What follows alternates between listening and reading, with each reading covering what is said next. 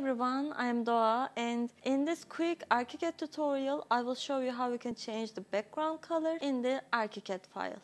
Don't forget to subscribe if you want more tutorials like this and let's get on to the video.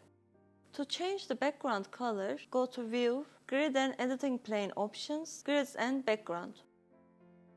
On the right corner, there is a background color option. Click on it and change it to whatever color you prefer.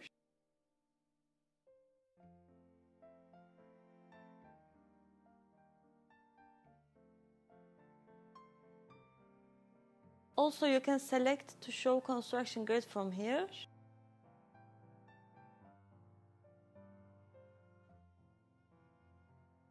You can change the background color to how it was by following the same steps. It's that easy. So thank you for watching this video and hope you find it helpful. See you in my next video.